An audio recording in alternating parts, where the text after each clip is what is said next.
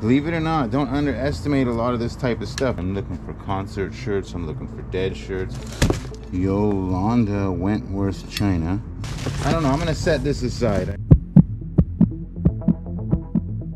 Ladies and gentlemen, boys and girls, pirates of all ages, it is I, your captain, speaking. We are here at my store this evening, and I kind of got my second wind going, and I just want to finish up this storage unit. So we're going to start going through here, and we are going to see what we got.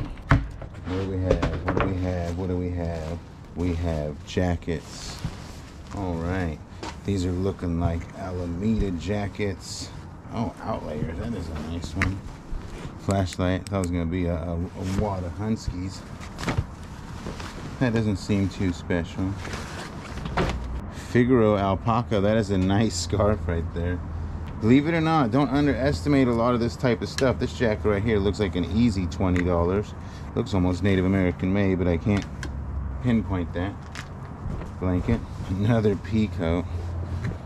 I have plenty of pea coats. So, unless they're special. Luxina. We did find that one fancy one. What was it called? Christian to Christian to Christian Dior. All right, there we go. All right, some cool tank tops. These are gonna be kind of cool for the Alameda market, to be honest. I know everybody's like, Pirate, you say Alameda too much. Well, I know every channel has their own way and their own things to do and things. And for me, look at that Stella Blue. The Alameda has become my spot for my money tots and the toots and the may maytals. I do make money at other markets, don't get me wrong, but that's the one where I bring my big bucks in and you got to run everything one time through it. Doc Greens, 2009, California, Berkeley. These are not quite vintage, but they're trendy. I'm looking for concert shirts. I'm looking for dead shirts. I'm looking for things like this. A lot of women like the stuff that let the, lets the girls hang out a lot these days. I've been noticing that trend. I've been noticing that trend. That's kind of nice. Especially at that market. It's like, I don't know, kind of weird. Lose with the truth. Gildan. Loose with the truth. That could be something. Here we go. I knew there had to be one somewhere. Dead ease. Ease your face. Your face, sucker. Who do you think you're talking to? Talking to me like that, sucker? Lot of tie-dye. Okay, chirp the time into invitational. I wouldn't say we're speed unboxing, but we are trying to wrap this up and make this not have to be done again. We'll be done with this unit here, hopefully. Funkadelic, that's all right.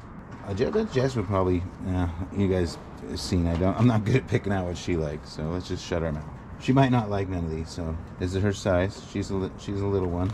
I try to give her the carte blanche when she's here to the film. Like I know everybody's like, they want to see Pirate Film and two, you want to see this, you want to see Uncle Mike. But with Jess coming, I, she gets the actual kick off looking through the stuff. She wants to find a treasure. She's she's destined to be the one to find the best treasure. And I appreciate that about her. So I have like no problem just sitting back and watching, letting her be the, the, the center of attention when she comes down.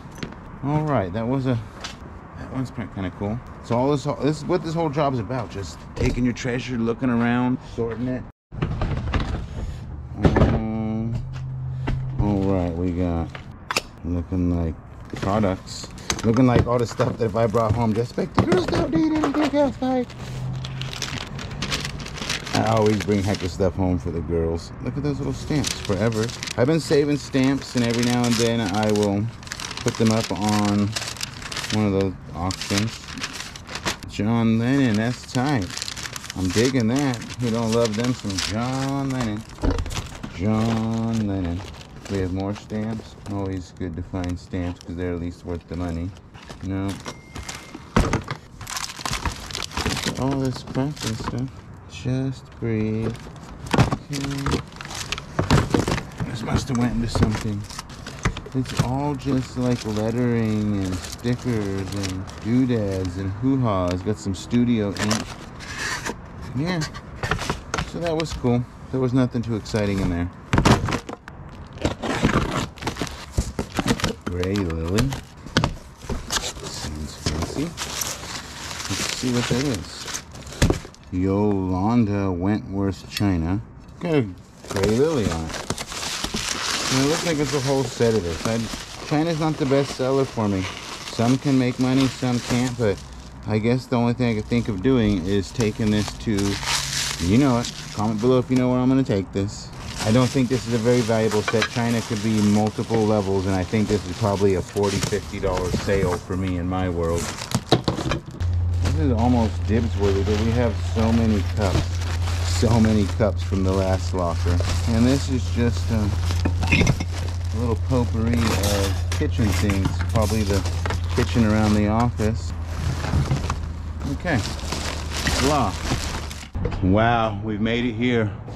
We've made it here, guys. We've made it here, the last box in this storage unit. What is this? Lucky brand.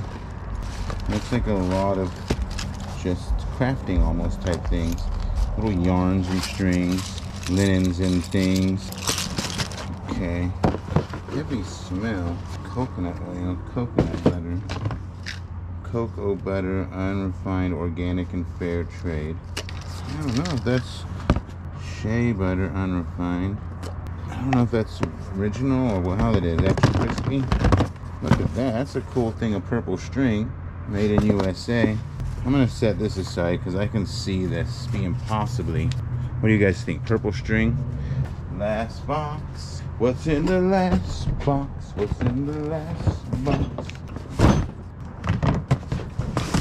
Dry herbs. Know what you got in here? Got the dryer. Can I show this on my TV? God, this nice. These are really genuine herbs. What do we got here? We got castor oil for versatile skincare. We've got sage. Hmm. I'm gonna have no idea about all this stuff. We got some saffron or something. Wax. Jasmine vitamin E. Rose petal grapeseed oil. Whoa. Look at all of these. Essential oils, eucalyptus. We got ancient waters, pink salt of the Himalayans, more sage. I don't even know. This is wicked and it smells in here pretty intensely. I don't even know if I should be smelling. Maybe I'm getting better now. Skullcap tincture, fresh plant, full moon press. I don't know if that makes a difference. I want to see some witches, witch's tail or something here. What's this? Elderberry, lemon, clove, and hibiscus brandy. The stuff is just packed in here. More sage. What is this? I have no idea what that is. Coconut oil. Mm. Wicked stuff here. Wicked stuff. Some type of Somebody once told me the world was full of marshmallow root. Okay, I've never seen that. This is some shrimp, whatever all this stuff is and for. I don't know. I'm going to set this aside. I think that this is least something cool. I'm going to let the woman look for little smelly oils and stuff like that. Because uh, I think she's going to like that. Balls and lids for jars. Okay.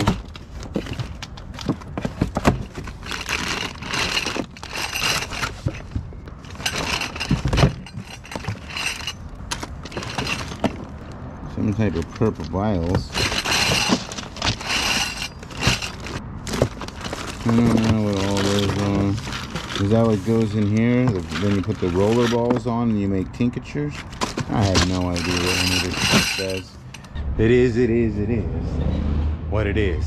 We got much more to come. Uh, I'm just gonna go home, take a quick break, and we're gonna be right here back tomorrow morning. We're gonna be going through this $1,400 storage.